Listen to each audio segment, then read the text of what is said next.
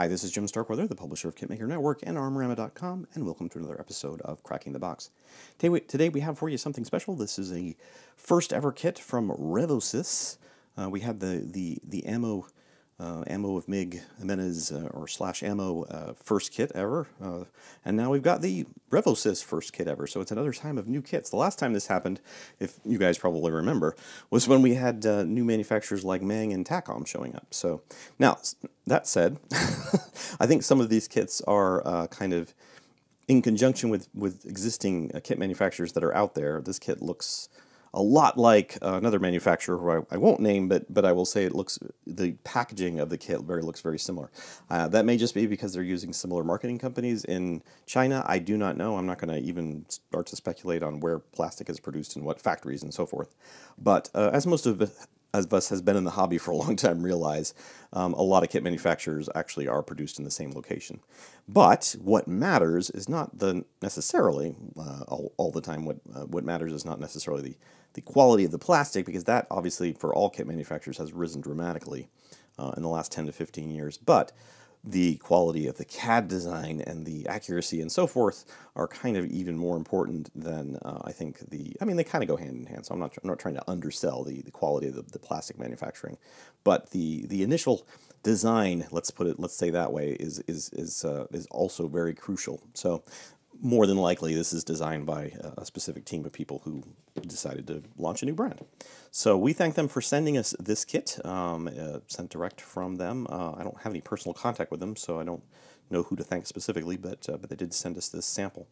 And this is kind of a rare beast. This is the Panzerkampfwagen 6 off C slash B, two in one. The the VK 3601, 36.01. I mean, I don't really know why sometimes you see the dot in there and you don't see the dot in there sometimes. Obviously, the official German designations must have had the dot in there. But uh, this tank, for example, has been in World of Tanks for quite a while. Um, early on, I think it was probably in the initial German release, I want to say, uh, of the German tree of, of tanks. Uh, originally, it was a heavy, I want to say, and now it's a medium, or is it the other way around? Um, either way, it's a, um, a pretty formidable, formidable tank in the game.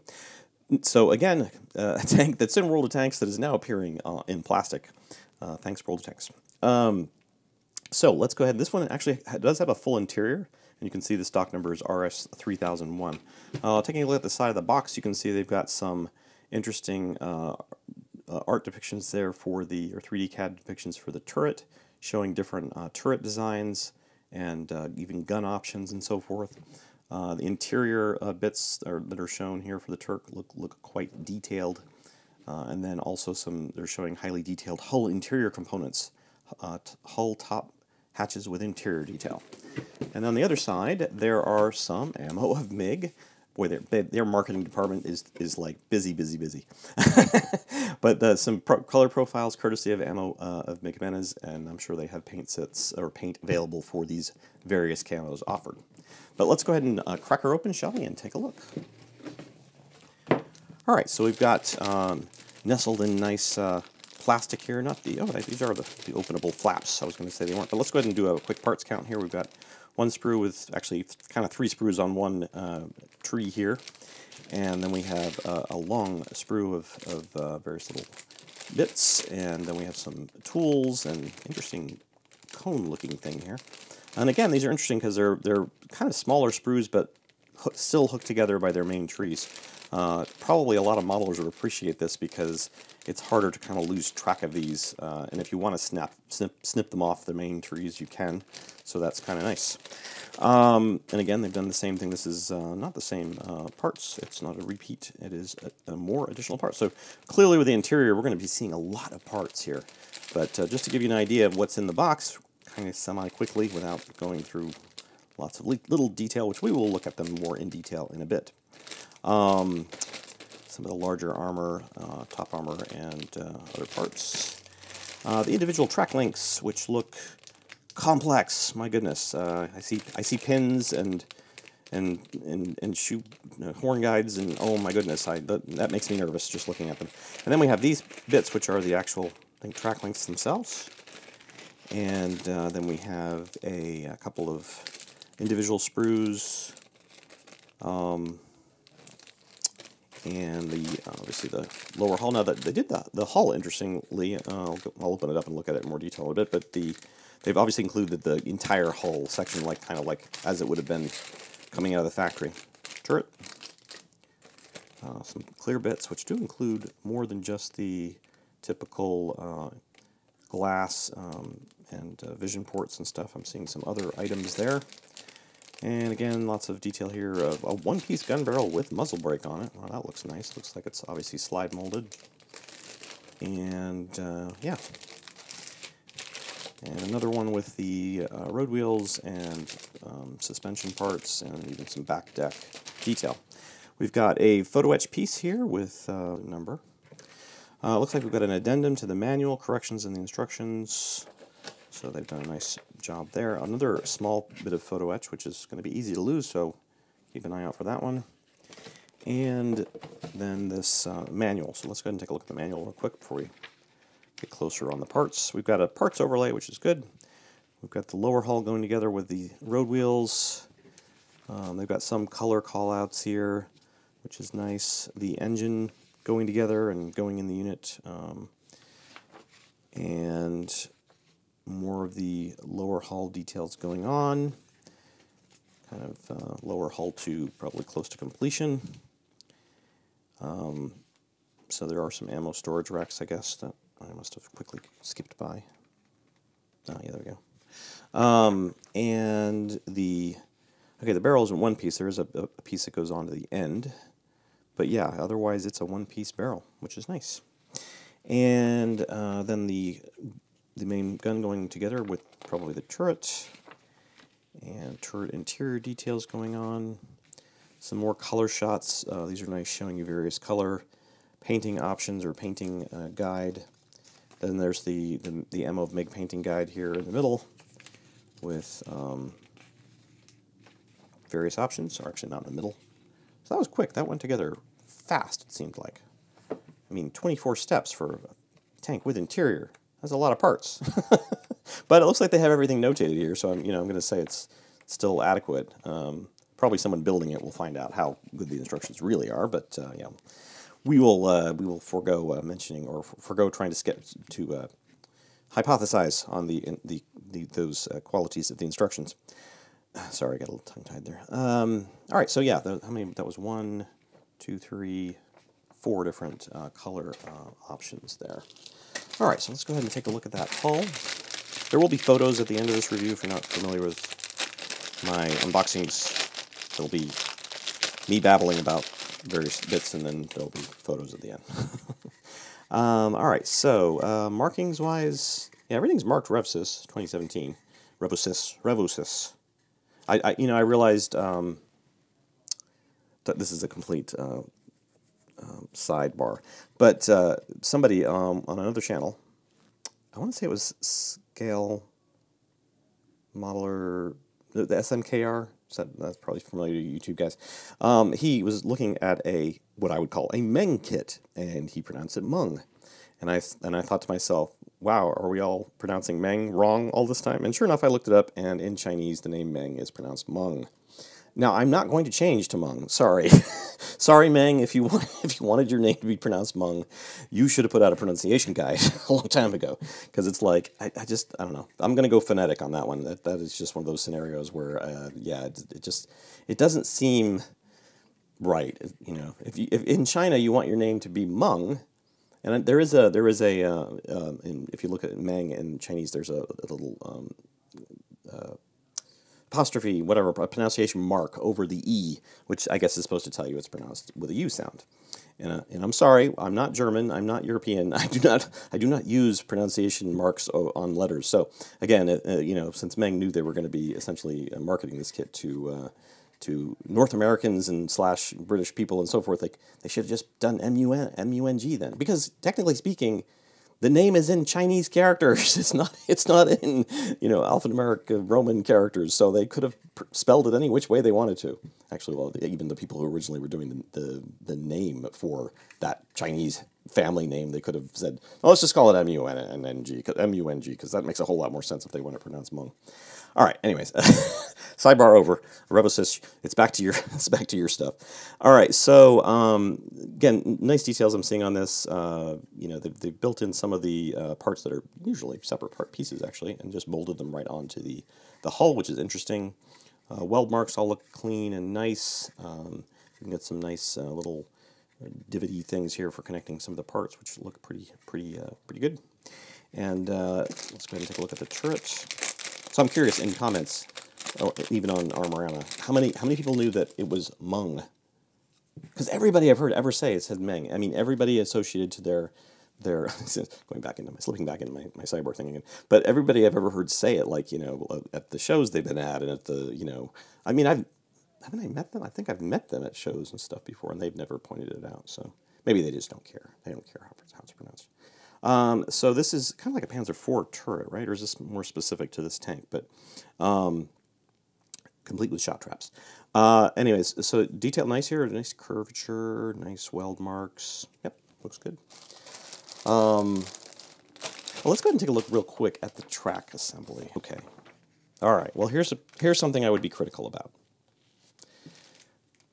So, where is, maybe I just missed it. We'll, we'll keep looking.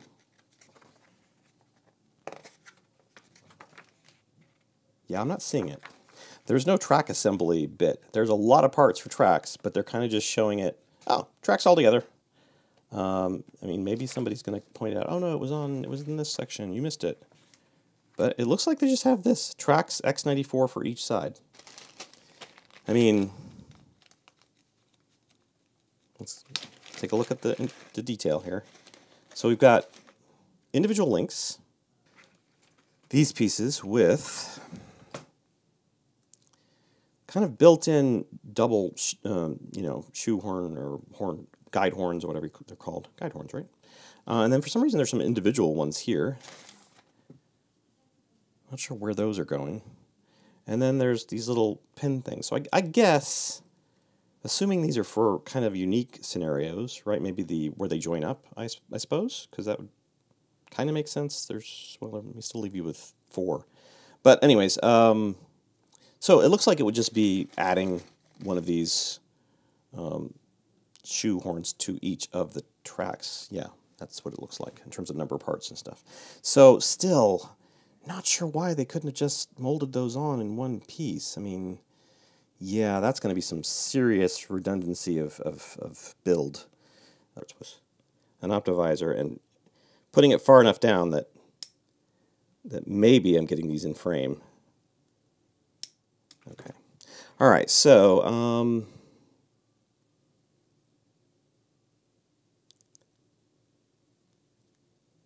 so clearly they they hook in like this. And yeah, they're not snap together, so you're, you're going to glue. So you can see, I think, that they just fit in place. And then, of course, the guide horns are going to go over these. Maybe that's why they did this uh, after they're fit in place, or the, the track guides. But yeah, there's no there's no real snap together there. So yeah, I think the tracks are going to be maybe a little bit of work. Uh, maybe uh, actually, they're going to be a lot of work, but uh, maybe. Um, with this system, they'll come out looking really, really accurate or good. I mean, I, I, I'm not a track expert. Uh, I'll leave that to Adam Mann to, to discuss. Maybe he's working on this kit or, or we'll have it at some point. Maybe he'll even request this kit, being that it's kind of new and, and, uh, and interesting and so forth. So uh, there you go, Adam. We got an invitation. um, so, yeah, all right. So tracks, tracks done In case anybody's going, ooh, what kind of tool is that? I've never seen something like that. This is kind of like a, a tweezer with, with, with cutters on the end. I, I believe this was made by UMM. It was. But um, yeah, it's, it's good for this, these kind of tasks where you want to cut something really flat. So, uh, all right. Pushing on, which I'm sure I edited a lot of that out, but because I can't, this video can't be forever. God, how long have we gone already? 15 minutes? Well, that's 15 minutes unedited, obviously. I do like these reviews to be somewhat short, so not short, short, but all right. So um, engine uh, deck area is fairly solid. I, I, don't know how they did this tank with no, you know, uh, visible rear engine stuff. Uh, I think it looks like they have a they have kind of grill covers. Look, look from the artwork. I guess they're kind of covers that cover up uh, maybe some of the the uh, what would be here, and they're just not showing it in the actual kit form. But yeah, you think there'd have to be some kind of air exchange going on. And uh, yeah, production quality looks great. Uh, these are the rounded sprue types, so not quite caught up to that new level of stuff. Again, for these smaller ones, uh, there's some of the ammo uh, racks, but I'll take photos of those and you can kind of see. Um, I said, I don't want this video to be too long, so opening every bag to just kind of go, oh, look, there's another screw with detail stuff. I, I know it sometimes it gets kind of tedious. I'm fully aware of these things. Um, again, some nice detail. I think this is on the inside turret, I'm guessing. The turret, is it the turret floor? If so, I guess they had little hatches to get up in here. That's kind of interesting. Or maybe this is just the standing spot. I don't know what those those obvious look, hatchway looking things would be then. Um, nice instrumentation detail here for the driver, I'm assuming. The engine parts, the seats actually, the seats have little little butts kind of uh, depressed into them. I'm not sure if that's what the seats looked like after they were used for quite a while, but yeah, that's kind of an interesting detail if, if that's the case. And uh, again, some small parts here, some of the internal um, uh, control levers and uh, things. You know, the, the steering wheel, got to have a steering wheel. And again, that one I'm going to skip. Let's go ahead and take a look at the um, the road wheels section. So again, some nice um, level of detail here. I'm not I'm not seeing anything that's jumping out at me going, oh, you know, amazing. It's it's it's good, you know, solid work here. Um, not sure what reference vehicles are available for this. I mean, are, are there even surviving? I assume there are some surviving 3601 uh, tanks. If there are none, and they're going on all photos and art and various, uh, you know, schematic details and things like that, I can see why some of these details look kind of, I don't know, soft or just, you know, we don't know exactly what that looks like. Um, but yeah, this this this um, this is some of that fan work. I'm not sure where that's on the sides, isn't it? So I guess yeah, this maybe the maybe the air exchanging and the heat exchange stuff was was on the side of this vehicle. I could explain why there's nothing on the back there. But um, again, that's some of the internal parts. A lot of small detail bits on there. We'll take photos. Same for the all of these um, individual ones. I will take some photos of all that stuff, and you can see various parts that call out. But I do want to take a look at this one, which is the the one that has the gun barrel and some other options. So there's that um, that one-piece barrel. A little bit of a seam line I can see down there, probably just requiring a little bit of sanding. And the barrel end bit there. Uh, I'm not sure what this piece is. Is this is this? Yeah, I have no idea what that is.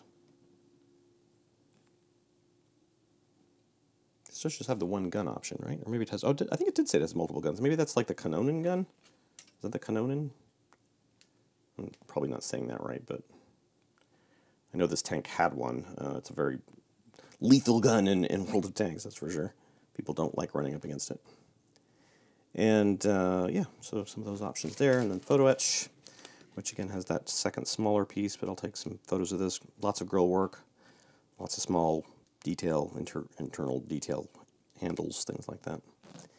And so forth. All right, let's go ahead and take a look at some photos, and then we will come back and conclude.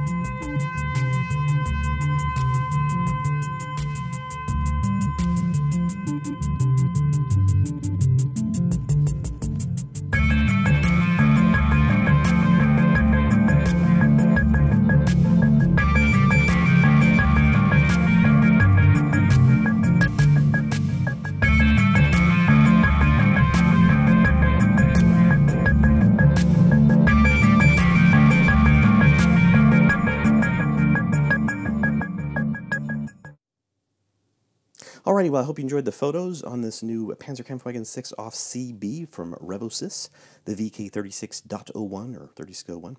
This is RS3001. Uh, you, you might find the, the kit hard to find, I would imagine, uh, being that it's the first kit available. But uh, definitely to take a look around for it. I'm sure some of the online uh, sellers have it. Um, can't don't know anybody myself who has it. They did send us this direct, so our thanks to Revosys again for sending us this sample, and we hope to see more from them. I'd say overall this is a very competent release, especially a first release. Certainly a tank that hasn't gotten much love uh, from the kit making um, side of things, so uh, I'm sure people have been kind of waiting for a version of this to come out, and uh, uh, at least a newer modern version. I'm not sure if an older kit exists, uh, to be fair. Um, having the full interior and, and these uh, single piece, uh, well, two piece barrel options with the muzzle brake built in and uh, even detail like these smoke dischargers and stuff uh, all look very good. Um, the tracks I think are probably the only part that I would kind of throw up a, a, question mark and I'd be curious to see somebody who builds it how how easily they go together. It looks like they'll go together in terms of link to link fairly easily and it looks like the, the, the guide horns will go on there uh, pretty easily as well. I'm just not sure how much actual total work is going to be involved in doing that. Uh, but again, with those types of things, you you know you get a system down, you try to you know do as many as you can stand, and, and then take a break and come back to it later, kind of thing. So. Um, still wish maybe, maybe maybe someone had been some tracks that are just I don't know fully functional and just kind of go onto the tank the way the way they you know you don't have to do hardly any work. But then again, I guess that wouldn't be a kit then, would it?